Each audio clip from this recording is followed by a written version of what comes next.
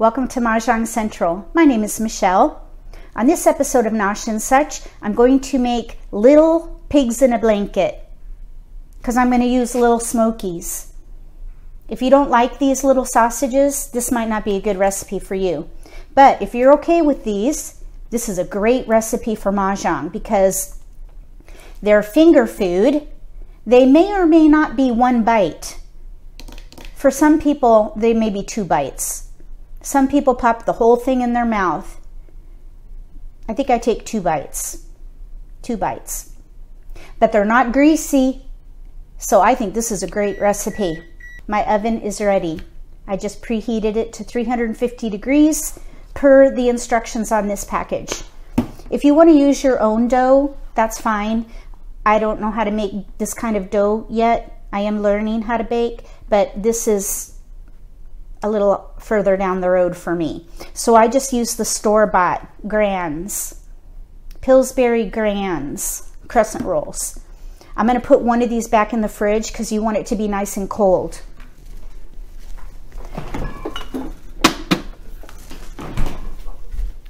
All right, so the first thing I do when I make this, you're going to just set that aside for a minute.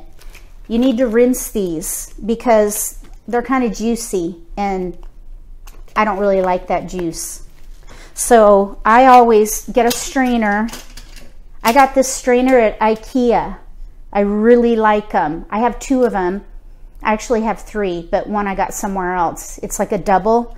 This one is a single bowl, and they're great for this kind of a thing, or, you know, vegetables, salad, things like that.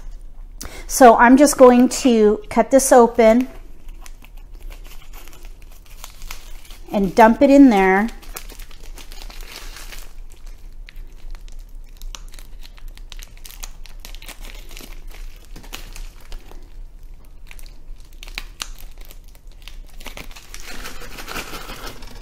See that juice? It's kind of icky. Do the same here.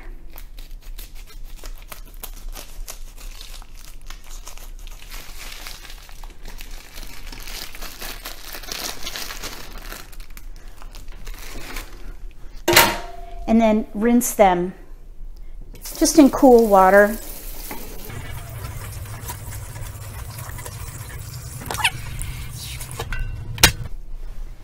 I forgot something. I'll be right back.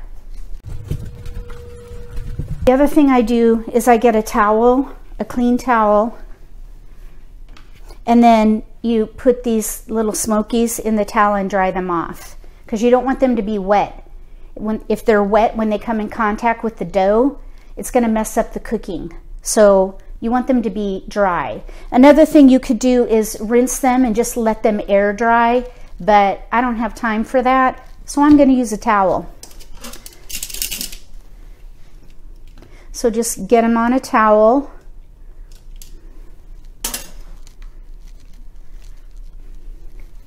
And just give them a good rub.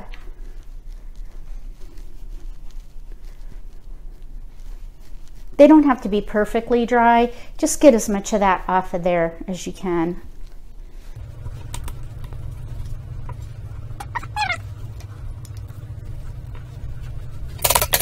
Okay, now I'm going to just dump these back in this strainer.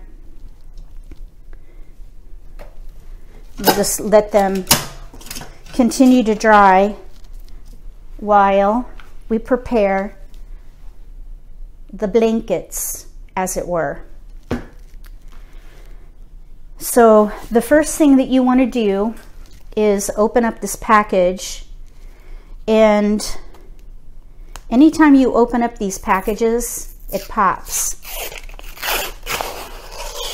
So brace yourself.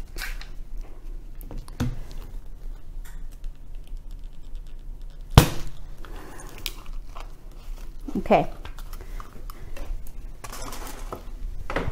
Mm, then what you're going to do is you're going to find the end.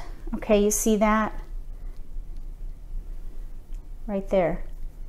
And just very carefully unroll it. It might come apart a little bit. See that little hole right there?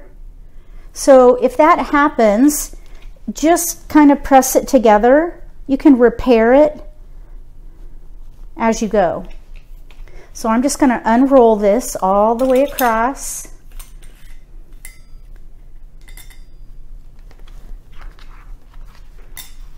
Okay, so there it is. There are eight triangles on each little sheet of dough. So we have two, four, six, eight. I'll show you one here.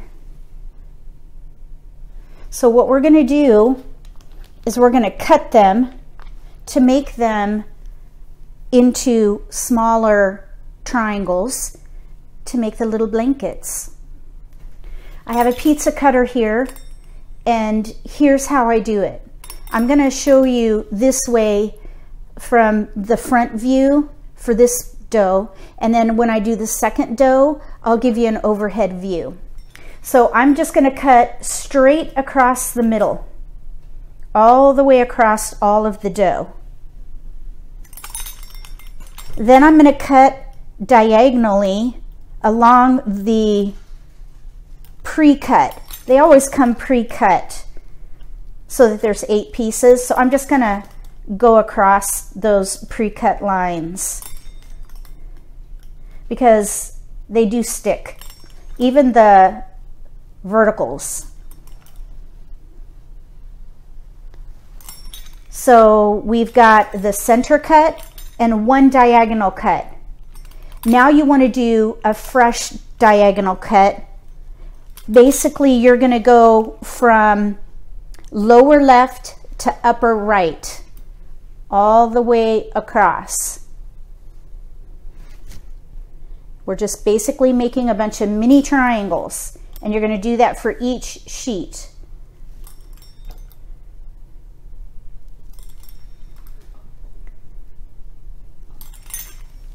Now we're going to do one more cut. There's a big triangle in the middle. I think it's called an isosceles triangle. Is that the one that's the same on all sides? We want to make the other one. I forget what it's called. Isosceles? I forget. But we're going to cut it in half. So we're just going to go straight up the middle across that one big triangle. So now it's two little ones. And then we're just going to repeat.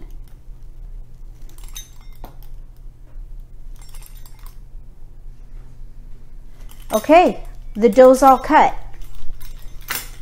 Now, here's what you do. You want to get a tray Make sure it's a dry. You don't need to grease it because there's butter in this dough already. And if you make your own, you'll know there's butter in it. So you don't need to do any pre preparation on your pan. And this pan is non-stick anyway, so it'll be just fine. So what you want to do is you want to take a piece of dough and you're going to lay the little smoky on the long side. And then you're just going to roll it up. Like that. You see? Now you can just leave it that way and just put it right on there. But I kind of like to tuck the ends over to the, uh, the dough right here. It just, to me, makes a more finished little package. So it looks like that. And then you're just going to lay it on the tray. And I usually do four across and then I just go uh, uh, lengthwise and fill it up. This is going to take a while. This is the only sort of challenging part. It's not even challenging, it's just time consuming. And it really doesn't even take that long but it is a bit tedious. I guess that's what we could say. It's tedious. So you just need to make all your little mini pigs in a blanket right now. Just like this.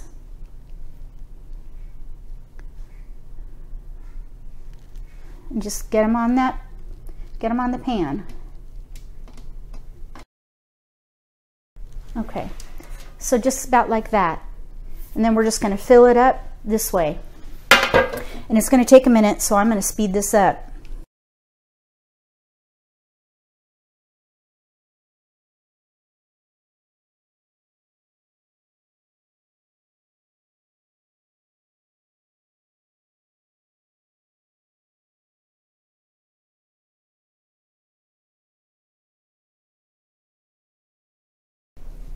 I guess if you consider it therapy, working with your hands like this, it could be enjoyable.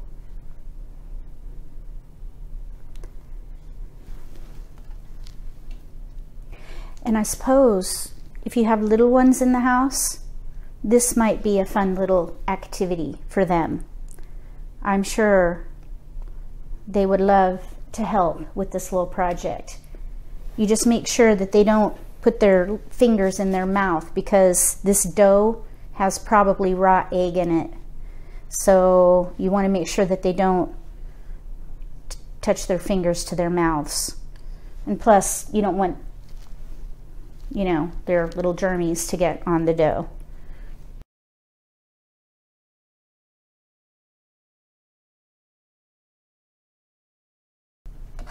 Okay, I think that's pretty good. You don't want to crowd them too much here. So there's the tray. I'm going to go put this on the stove.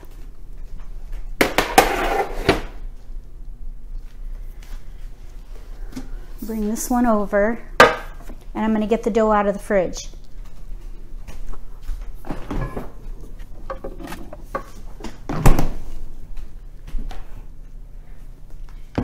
Now I'm going to move you to an overhead view. Okay. So I already have a few here, so I'm going to go ahead and, and do these.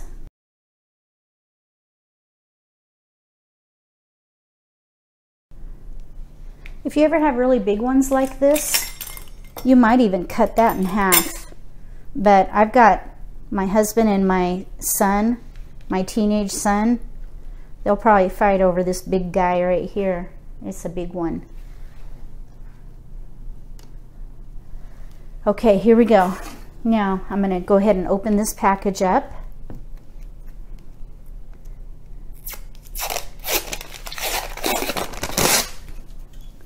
Okay, brace yourself.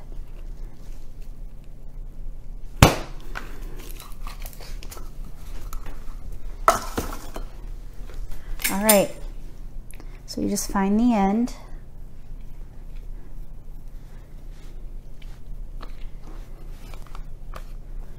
Lay it out and just unroll it.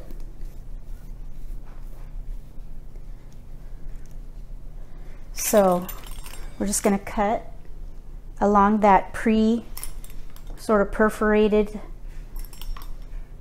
vertical lines, cut the pre-cut diagonal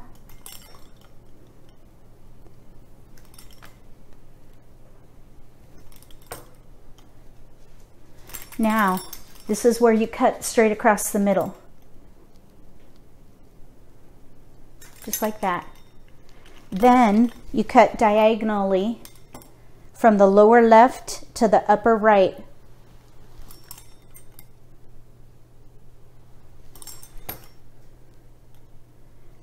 And it's nice if you can cut so that as you go across the middle, you hit that intersection so, do, so you don't end up with a teeny tiny little piece right like that in the middle.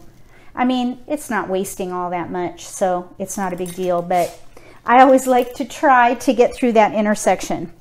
Okay, now this is where this really big piece comes in. Remember this really big piece? This is where you go right up the middle.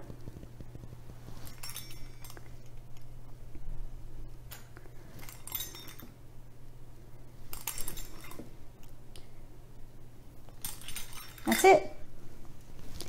And then you just take the dough and roll it up. All right, we're just going to continue the job and I will speed this up so you don't have to wait.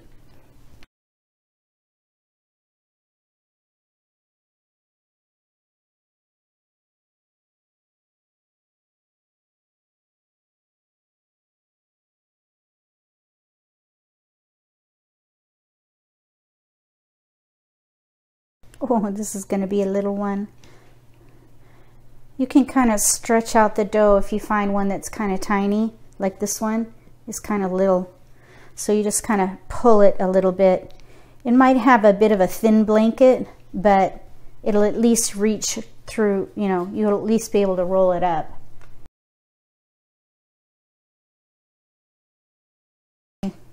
I might have to do a little rearranging because we have extras here.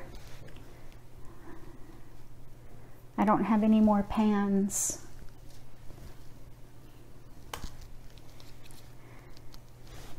We're going to make it work. Make it fit.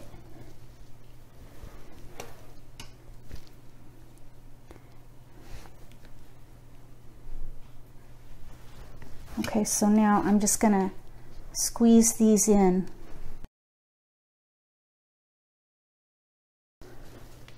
Okay, we can get four more on there.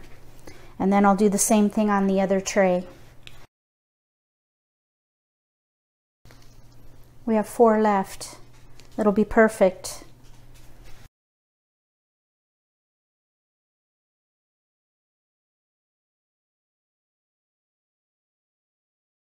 Last one. All done.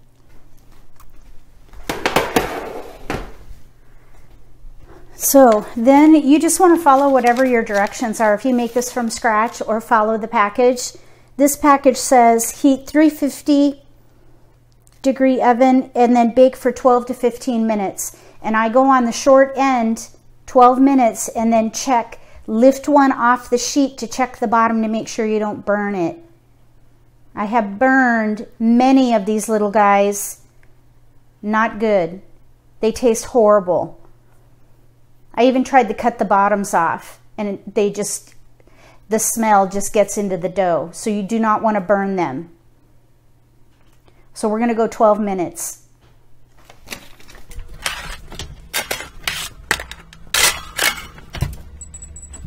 Okay. 12 minutes. Don't go far and come back and check after 12 minutes. Lift one up, look at the bottom. If it's golden brown, they should be done. There's a fine line between done and burned. Trust me. I know this well. So we're just going to wait for 12 minutes now. I guess I can clean up. We have about three minutes left. I'm going to look real quick.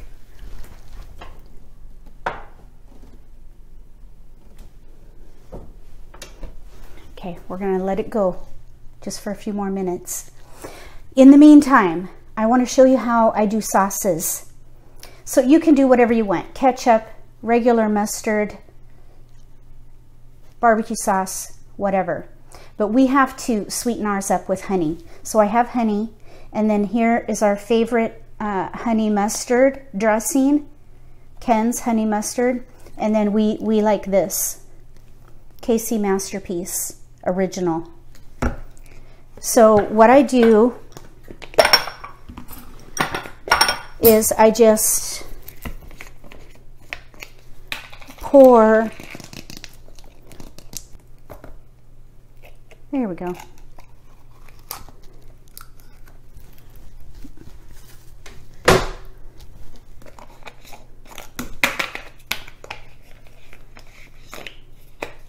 Okay. Just pour however much you want. So there's like three of us here. I think we need a little bit more. All right. I think that's good. So there's the honey mustard. And then I'm going to do the barbecue. Excuse me while I squeeze the barbecue sauce. Now we just put in the honey. And you don't need a whole lot. I'd say if you I'd say this is probably a cup of dressing and this is probably a cup of barbecue sauce. Let me get those.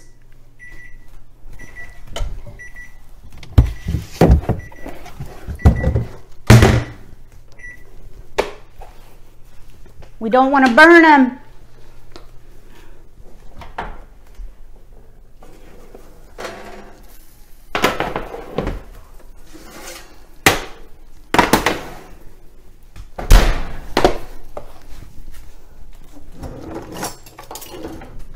This is where you check them. So you just pick one up, look at the bottom. It's not done yet. That's not dark enough and it's way too light on top. You want it to be a little more brown.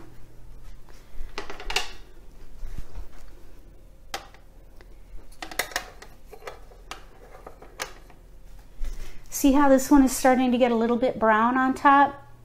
That's what you want only more. But see the bottom? It's hardly browned at all.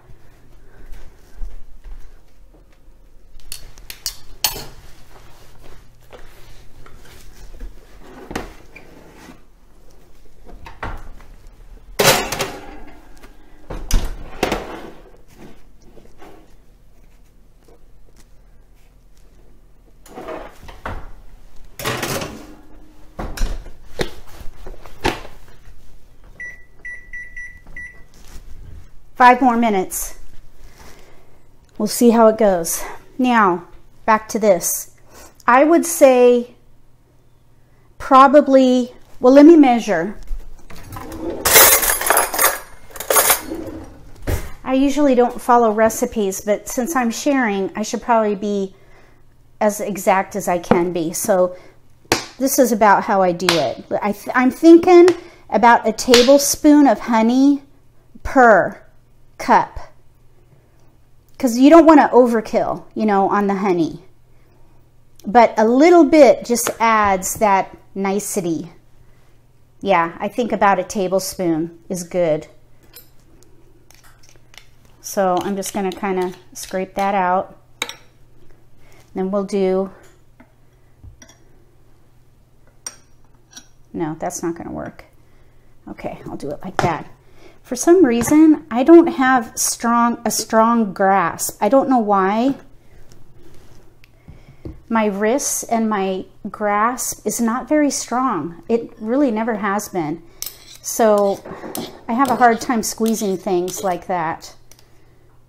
So I need both hands to do stuff like that.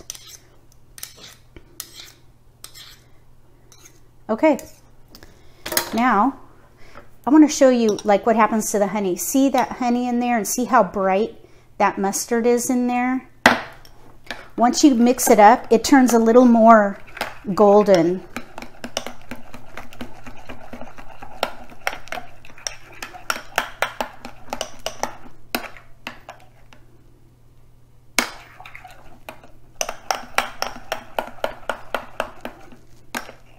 See, like I might put a little more honey in here.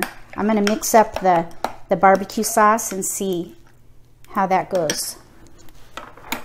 The thing about the barbecue sauce is it's dark, so you can't really see how the additional honey changes it.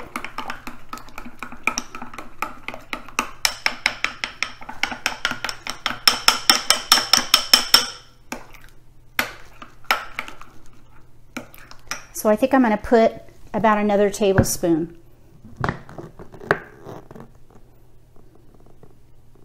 I'd say that's about a tablespoon.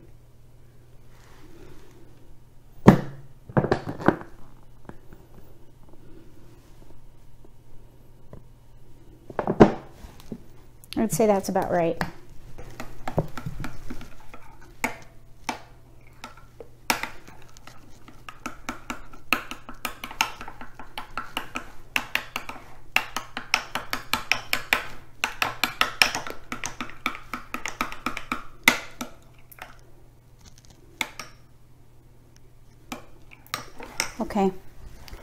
now for this one.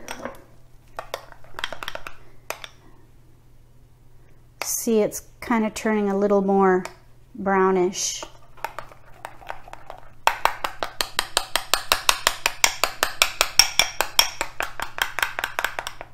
Yeah, that's much better.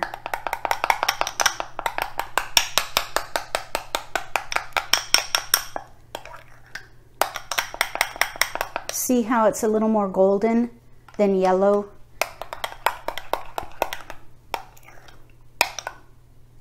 All right, that's it.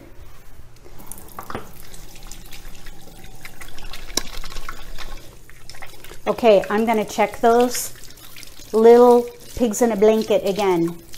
Because like I said before, there's a fine line between done and burned.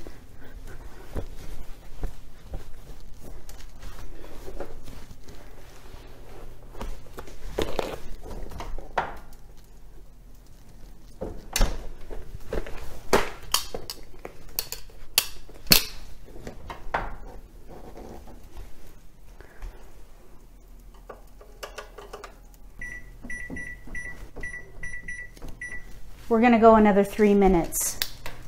I added another three minutes and then another five minutes, so I'm gonna check it again. On this five minutes period, I've got like two minutes left.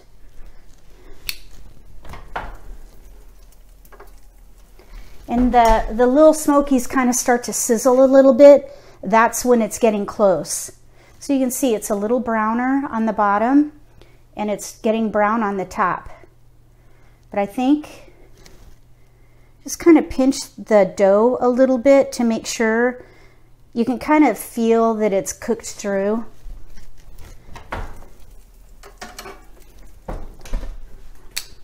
So I'd say they're almost just done. another minute or two. In the meantime, I have a little bowl here and I just put a towel in here and that way you could put the little pigs in a blanket in here and just kind of roll it up in the towel and it'll stay warm that way. They'll be all right at room temperature, but I kind of like them as warm as possible for as long as possible. And usually if I put it in a towel like this, it'll stay warm longer. I think we should get them out now.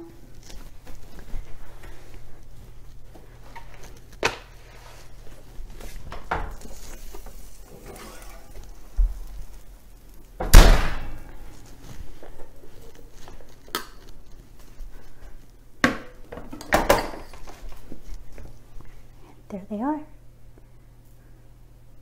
They look done to me. I'm going to put the other tray on the other shelf. These look done though too. Let me just check. See? They're pretty, pretty well browned on top.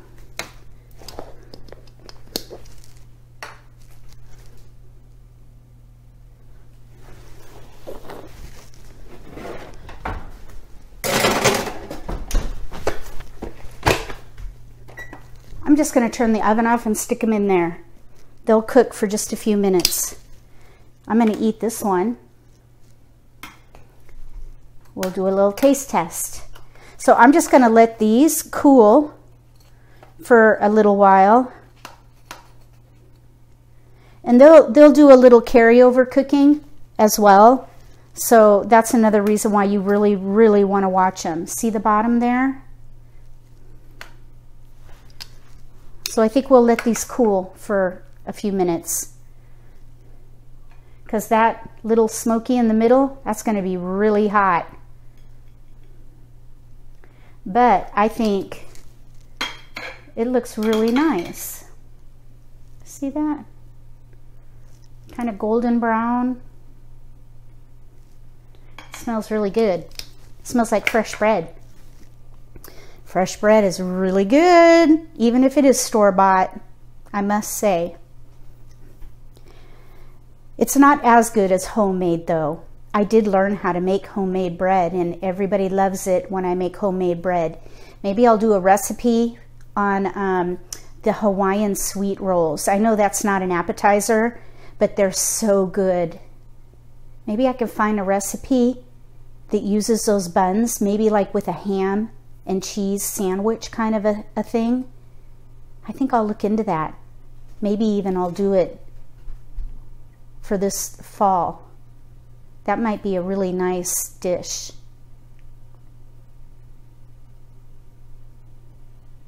Here's an overhead view of the little pigs in a blanket just out of the oven.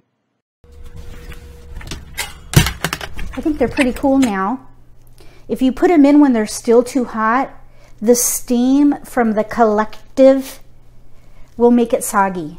So you don't want to put them in there when they're way too hot. It'll just become a soggy mess. So you want to make sure that they're almost warm to the touch, about like that.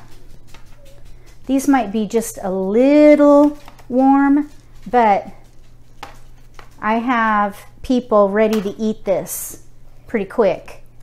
So they're not going to be sitting in here for very long at all. So I'm just going to go ahead and put these in the basket here.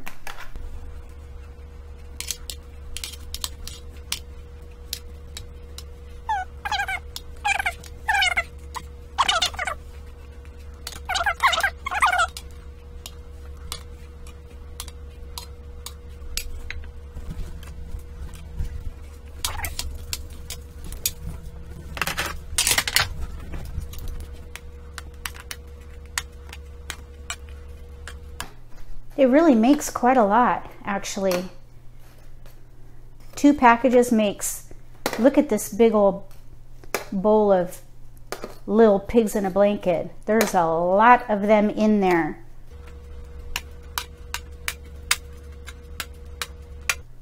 You know what I was thinking? I wonder if an egg wash on this would be good. On the package, it doesn't say to do an egg wash, so I didn't do it but I had a thought of doing it. I think the next time I make these, I might do an egg wash on them because they do look a bit matte, you know, like a matte finish, M-A-T-T-E, matte, matte finish. I wonder if I put a little egg wash on there, if they would have a little bit more of a shine to it.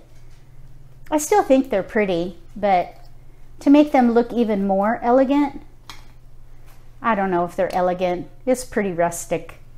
Um, but I think an egg wash might give it a little bit of a,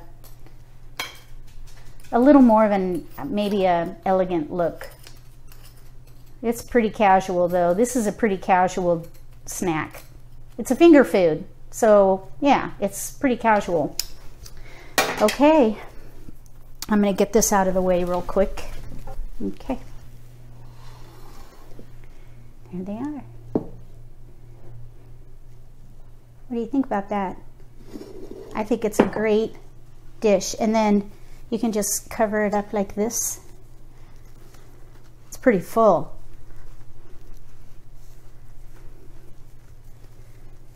But I think that will keep it warm for quite a while.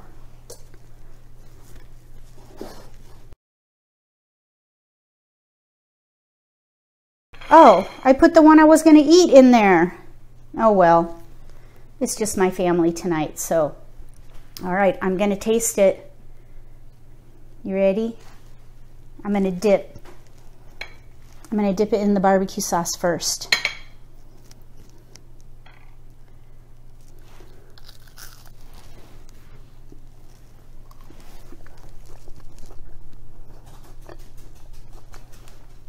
It's really good. You definitely have to like those little smokies though. If you're not a meat eater, you probably wouldn't like this. So now I'm going to dip it in the honey mustard. I think the honey mustard is my favorite.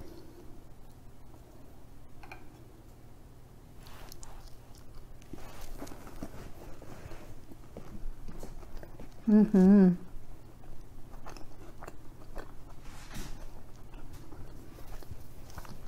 Hmm. Just a little teeny bit of grease. Just one little finger had it. I mean, you think you definitely need a napkin, but they got cooked through. I'll write how long I cooked them for in the recipe below the video.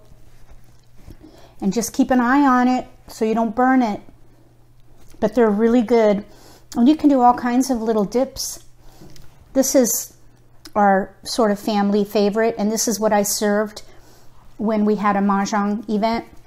At my house, I had the honey mustard and the barbecue, and I made about this much, and it was gone. Everybody really loved it. Give it a try yourself and let me know how it goes. And you know what I was thinking? You could do this same idea with other kinds of fillings. You could put maybe chicken and cream cheese in there. You could put maybe like a ham and cheese and make a little ham and cheese croissant. I might actually do that in the future because they're the perfect little size. I mean, they could be a two bite.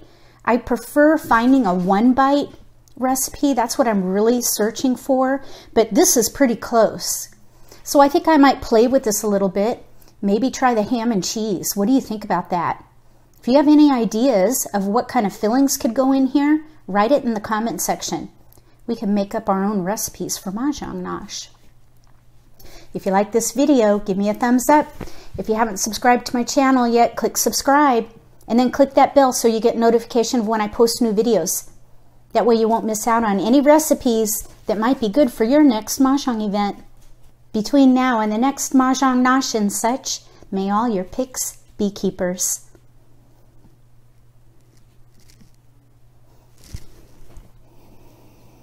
Oh, it smells so.